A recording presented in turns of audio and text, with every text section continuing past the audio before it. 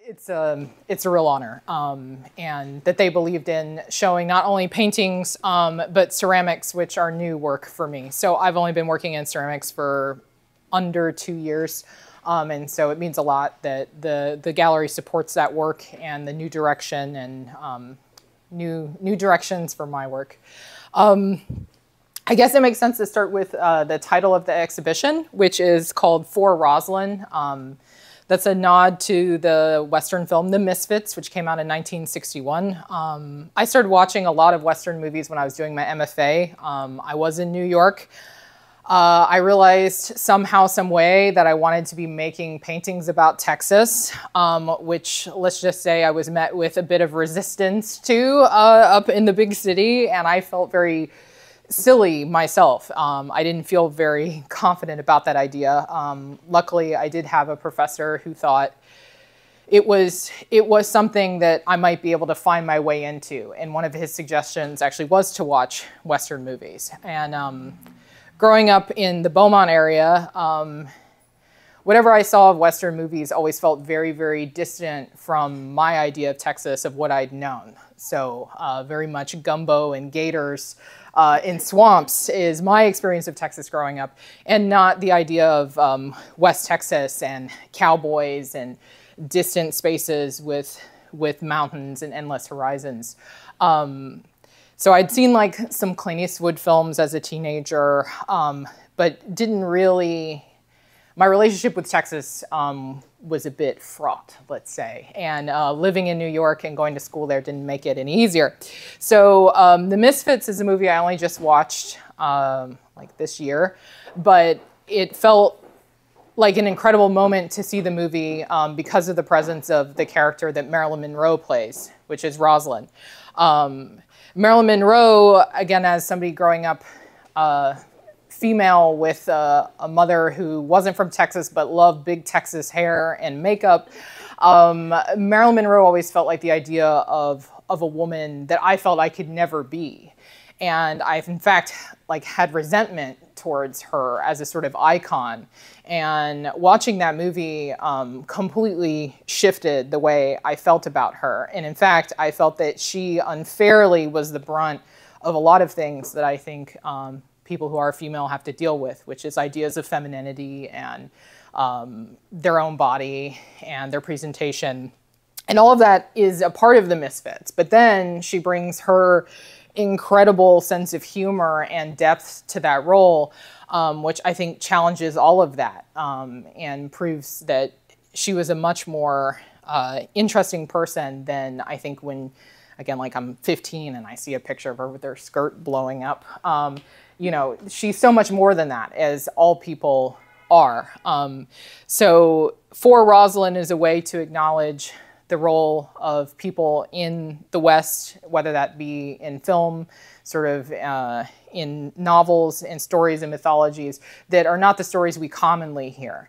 Um, and when I think of that, I think of like John Wayne as sort of like the ultimate perspective. Um, and so it's a way to acknowledge a female presence um, in, in these stories. Um, it references myself as well, um, and also is a way to link, I think, the paintings to the ceramic work, which the ceramics go into a feminist and very female uh, kind of way. So um, that title for me uh, does a lot of work and uh, bridges the two. Um, I feel like that was that was a lot. I'm gonna take a moment here, um, covering some ground really fast. Um, so I'll start with the paintings because I have been a painter. I don't know. I did my MFA. I graduated in 2012, um, and have been an oil painter primarily uh, since then. And my work since then has also dealt with the idea of Texas and the idea of Texas. What is Texas? Each one of us who are from the state have, again, very different backgrounds, histories, um, you know, families who have been here for generations. Um, my family, not being from Texas at all, I was the Texan of the family um, and kind of having to deal with that growing up in the Beaumont area. And also the idea of a Texas that I never knew. So whenever I started going to other places. Um, my grandparents were in Southern California. I went and did my MFA in New York City and also did my undergraduate degree at Wagner College, which is on Staten Island, which I was tricked into going to because it is the fifth borough of New York City. But if you ever go there, you know it's not really New York City, but I'm from Beaumont. I didn't know. Um, so it was like people had these ideas of who I was when I would say, This is where I'm from. And it got old really fast. And in fact, that started whenever I would go to Southern California. Uh, the once very strong Texas accent that I had uh, was definitely mocked by other children. Flight attendants thought that I sounded so cute. And I, I really started to wonder, what, are you talking about? You know, this is what everybody sounds like. And um, realize that's not the case. And that, again, the idea of, of Texas that other people carry outside of the state and into international, into other countries, um, especially once George Bush was elected. Um, you know, the, the notion of what Texas is and who its people are, um, I felt very limited by and I felt very frustrated by. And so I went into phases of like rejecting this and then to being like the proud Texan. Um, and then starting to realize like, wait a second, like, what do I even know? Like, what do I even know of some of these books or some of these movies or some of the fashion that people are associating with me? And um, that is when I started uh, reading, and that's when I think like there's a nod uh, to the painting over there. There's a little red painting that's square that's titled All the Pretty Horses.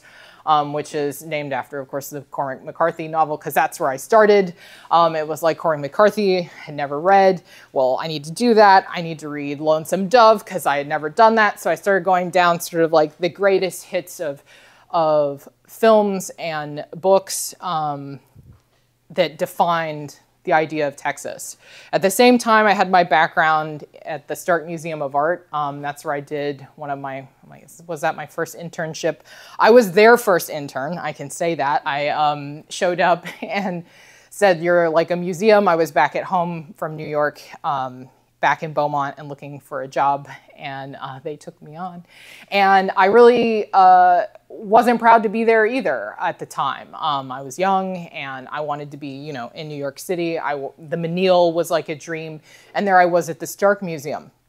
And then I started to realize if I'm going to be here again, I need to understand what is it that I'm working with. If I'm going to be learning how to house all of these objects and to organize this collection, I was working with the registrar. Um, I've got to find a way. I've got to find a way to care more than I am. And so I started reading about um, American art history specifically. And then all of a sudden, the Bierstadts became really cool, especially because we had some in storage that um, were plein air, little oil sketches on paper. I saw those, those were amazing. So I started to find these like ways into that collection and um, started to gain respect, especially for for artists who were going out west and um, were painting in these landscapes. And so I came with like that, a bit of that type of art history background from being at the Stark Museum. And again, they were so kind to, because uh, I just said like, oh, I really didn't like being there. It had nothing to do with the people or the institution. It was my own ideas of what the collection was about. Um, and you know, being like 18 and thinking like I want big abstract expressionist paintings um, as opposed to dudes on horses. Um, and then it turned out I fell in love um, with a lot of the work in that collection. And when I was then doing my MFA, I started to realize that that was a lot of the work that I was sort of carrying with me in the back of my brain. How do how does one be inspired by that? Um, and be younger and be female um, and be of color um, and knowing that I come with all of that with me and how, how do I make work about this and being in New York City uh, and trying to stand up there and be be proud of where I'm from and trying to tell stories that nobody uh, could really relate to. So these paintings, again, wow, long. That just went like all over um, where I didn't think I was going to go. Um, the paintings feel like a culmination of all of that coming together. And for me, they kind of feel like probably a closing on some of that, on some of these ideas that I've investigated for a long time. They feel like the coming together of space um, that I, I think of memories of traveling out to West Texas for the first time again in my early 20s. Um, or going to Hill Country for the first time. Uh, being in Beaumont, we we traveled to Houston a couple of times to Dallas, but we weren't. My family wasn't going out to all of these places that um, are what we think of that make Texas sort of unique and and beautiful. A lot of the state parks that wasn't a part of my my background. So when I started to do that, I started to see some of these spaces. Um, I was very affected by them, and none of these paintings are done like on site. I used to paint outside. Um, and so that is also something I bring with me. I have great respect for plein air painters. Um, something I would love to do again one day. But I think that that experience of having done that, I, I have that in my mind, um, in my memory, and I'm able to remember the feeling of, of, again, that type of space or how clouds feel or the color of the sky. Um, and I think all of that comes into these paintings, even though none of them are, are based on a specific place. They're all my ideas of Texas. Um, and very much, I think the cactuses, which reoccur again and again. Um, the cactus I recognize as a sort of um, icon um, of the American West. Um, and also in a way of Texas, even though they're not everywhere all over the state. Again, the idea of Texas, I think that other people carry is the cactus. Um, again, in Beaumont, that was very much not my experience, but it was this idea of a Texas that, that I didn't know. Um, so using the cactus um, as a sort of presence in the landscape, but as an icon, as a sort of stand-in for what the American West and Texas can mean. Um, and I think that what I realized in doing some of these paintings with the cactus uh, is that my interest in icons and symbols has really increased. So I would have said um, just a couple of years ago, color would have been a primary interest. I think that's still obviously the case. Uh, composition and structure um, and space. But now, um, I would say the idea of what an image can carry, the weight the meaning um, of what something like a cactus can carry, just as it being recognized as such. And I think that that um, has transitioned into the ceramic work where I'm actually making physical things. I'm getting to make a symbol or an icon, and it's something that takes up space um, and has to be dealt with as such. Um, so I feel like that's a way to sort of bridge the paintings um, into the ceramic sculptures. Um, and I think that's what I find very pleasing about the ceramics. Not only that I have no clue, well, okay, that's not true. I have some broad sense now of what I'm doing in ceramics, but when I started, I really had no idea. I had um, just tried it. I was very lucky that Linus Blanton, um, he had he's just retired from Lamar University and had been out there for many years and always said, "Come play with clay." I taught at Lamar for like three, four semesters, and I didn't have the time. And then I finally said, "You know what? The time in my life is right. I would really love to do this if the offer still stands. And he said, Yeah, of course, because as I've learned, clay people are like the nicest people in the world. Um, painters, no, no, we don't need another one of you. There's too many. Like, but clay people are like, Yes, join us. Like, we need more. Um, it's a little culty. No. Um, so, so I went to work with Linus, and and it really, I had never touched clay. I didn't do that during my graduate studies. It's just painting, just painting. If I can be good at painting, that'll be enough for me. Um, and and it was it was an amazing experience. It was amazing to feel like I didn't know and to enjoy that and to relish in that, to be able to ask questions, to be a student again, and to sort of not have the weight of painting, painting history especially, which um, I feel very keenly, I guess. Um, I love art history. I love going to museums. Um, I love looking at at yeah all of art history. But when it comes to ceramics, it's like I, I don't I don't know. Um, and and I love that. I say that with a full love and appreciation for the people um, who have invited me in and have let me ask the dumbest questions and have just said, I'll help you. And that's the people at Third Coast Clay. I should probably mention them. I meant to mention them at the beginning. Um, and Lotus, who runs it, and Jerry, who's one of my teachers. And these, the sculptures are definitely not possible um, without them being there and the type of community and their willingness to say, come on board. Whereas, again, I think other other arts crowds wouldn't be so so kind. Um, and so that that also feels like a bit of a shift. The paintings are very much about my own experiences, paintings that I've made in the past that I was like, I think I have this the the ability to make these paintings even stronger and these memories. Um, but the ceramics feel like a new place where community has become very important to me, um, support of other people, and even the the birth of the idea itself. Uh, yes, Ron, yeah, you're right there. Um, so here at Foltz, um, I was in the emerging show. I was like, that's two years ago. I was about to say last year, but that's not true. Um, I was here and in conversation with Liz and Saran, and we were just talking about, I think, Western wear and cowboy stuff. I don't even know. And Saran points out that, like, cowboy hats kind of have the suggestive crease on the top. I'm beating around a little bit. And I was like, oh my God, you're so right. I'm going to make that. And then she was like, yeah, you should make that. And I was like, no, I'm really going to make that. Like, I'm really taking this idea. So, know, you should really, really do it. So even, even that, the fact that it was like the trust in the conversation um, and then going to a place like Third Coast Clay and starting to make them and being like, what are these people gonna think? They don't know me. And these hats are getting a little suggestive. Um, and instead, people just loved it. And people have been supportive even when they've been caught off guard.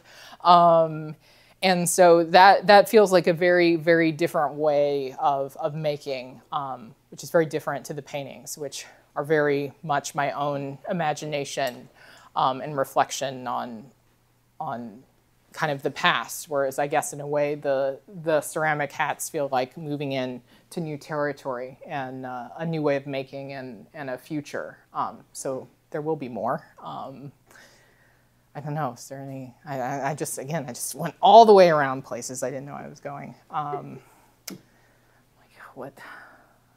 talked about the paintings.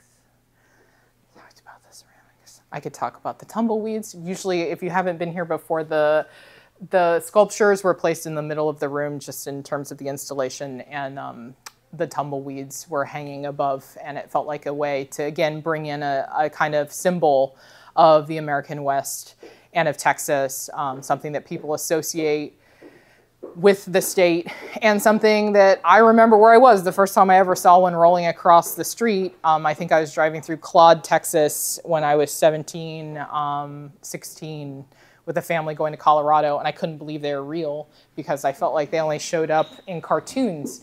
Um, and so having them in the space, which Sarah brought back for me, which is really amazing. I asked for one, she brought back like a carload. Um, again, the support that has made this show possible. So hopefully other things will come from these. Um, but they also feel like again this this evoking the idea of of what is Texas, um, and getting to bring that into the gallery is also very fun. Um, hmm. Well, visiting with us today. Does anyone have any questions for Sirena specifically about any of her work or background? Can you talk a little bit the sense of motion, I guess, or um, transition within your work? And I know when I was reading a bit before about like Muybridge, it's like uh, unless I'm making that up. No, no, uh, I feel very touched. Um, like you're reading, you're reading about me. That's so kind. um, I just wondered if you could talk a little bit because I've always seen that imagery like, with the crows and this one behind you as well. Um, yeah. So um, when I was, I still haven't finished the book, doing some reading um, about the American West very generally, I was suggested a book that actually talked about the overlap of Eadweard Muybridge and what was happening in the American West. And it's, it's pretty incredible um, the way technology made a lot of westward expansionism possible and um, sped up the whole process. And Muybridge's photos, I think to a lot of artists I found out are are very inspiring. I don't know if it's seeing the same thing again and again as we look around the room, with the cactus again and again and again, um, and being able to see that image slightly different. Um, but especially seeing the horses um, got me thinking about how, like, what are the limitations of painting and what can painting do? And painting is not usually where a person goes to try to represent motion in any way. Um, but whenever I feel like that happens, when I feel like I see it in a painting that something's very fast and there, the suggestion of speed exists, so you see a mark and you see it's going um, that's very exciting to me. That's a very exciting way to use paint. Um, and Muybridge seemed to suggest a way where that could be possible. So instead of feeling like the painting had to be something um, very still, which by its nature it is, I thought, is there a way to capture that? And through the repetition of the same shape or form, um, can I suggest motion? And can I blur the paint to suggest motion? Um, and so in the, the little red boots, I think little red shoes painting, which alludes to a Loretta Lynn song, um, that's what's going on. Um, and this relief tucked in the corner doesn't quite do that. So there's like a lot of horse legs. Instead, it kind of looks like a horse that might be more of like an octopus. Um, but that idea of all of those legs suggesting um, the running, the movement of the horse. Um, and that, that relief is actually titled For Roslyn um, because if you've seen the Misfits, um, I'm hoping you're going to watch it if you haven't seen it, so I won't say, but um, I'll just say that the freedom of wild horses is a very important element to the movie. And so it's my sort of fantasy of um, this female figure riding on this horse in motion, lots of freedom, um, and the ability to move without restraint. Um, and I think that that's interesting again to conflict with a relief, which is something that's considered very stable um, by nature. So I think trying to destabilize mediums um, that are not effective for showing motion, um, obviously film would be best or a performance or something. Um, that's that's a very interesting idea to me, and I have the idea to do like big, like lots of boots and like big dust cloud and stuff, but um, that that hasn't happened yet. So I appreciate that question because I'm like, oh yeah yeah, that, that, that is uh, exciting, exciting stuff. Um, I think it's fascinating that, that you can look at painting sometimes and say, or try to guess, is, you know, does that feel fast? Does that feel slow? Um, and, and my paintings normally, I don't think have that quality, but that starts to have that type of. Um, and I like to think that way when I'm painting as well. Like, what does that mark sound like? It's just swoosh is it a little dot. Um, somebody taught me that once that that you could listen to paintings, and I think that that's a really profound idea. Like how much paint, right? Is it like squishy paint, so you can hear like the smooshing of it? Is it staccato? Um, and I always tried to get when I taught students not to listen to music, which is impossible. Um, they will hate you. Um, I learned that like that's the way to get students to hate you is to say no music in class. But the idea was that you would listen to your own mark and you would listen to like, are you doing the same thing like again and again and again? Doesn't that even sound boring? Maybe it even looks boring. Like maybe you need to vary that a little bit. You know, um, maybe it is time to come in and do like a big wipe or something like that. And how does like a tiny pencil sound as opposed to wiping everything clean? And I think that that's uh, that's a pretty fun concept. So maybe that's like, but Muybridge doesn't do that. I just see that. I just see the beginning of, of film, and um, and that's. I think that's very exciting to try to imagine a place where art was there, where film was there, which we can't comprehend because we're just so used to it all being accessible to us. But this this moment, right as movement, is about to be captured, and seeing that like really caught there still, um, I think it's a pretty incredible moment in in in time or those birds. Yeah, yeah. Yeah. Like one comment I'd like to say, I, as someone whose background is art history and specifically uh, looking at earlier 20th century Texas regionalism, Lone Star regionalism into modernism, I think that was probably one of the first things that struck me about your work was that some of the imagery, some of the work, subject matter, um, immediately evoked Texas regionalists, and I don't mean that as a bad word, that was a, a great word, especially in the 30s and 40s. um, you know, looking for the universal in the local, in around us, in, in the state, and you know, grappling with these ideas of what what is Texas, what's Texas art, and then today to see your work and coming from a female perspective, um, where there's so much, I, I just see in your work so much laden, looking at the past, looking at the present, grappling with, you know, ideas of reality versus mythology versus experience, and um, I think it's a really fresh, interesting, interesting body of work that we look forward to continuing to follow, and especially with the ceramics, seeing where they continue to develop. Um, but you know, as opposed to so many artists, and there's so few female artists working in that regionalist aesthetic back in the 30s and 40s. So to have this flash forward, you know, 90 years later, and to have this female perspective, I think is really, really fascinating um, for for me. Are there any other questions? If not, then I would say thank you all for being here. Let's all give a round of applause to Sirena. Thank you. Thank you, Sarah. Any other questions? She will be here. Billy Castle who is also here with us this afternoon. Um, so please have a drink, have a cookie. There's Billy. Um, if you have any questions for him, um, please seek both of them out and enjoy. Glad you're here. Thanks. Thank you. Thank y'all.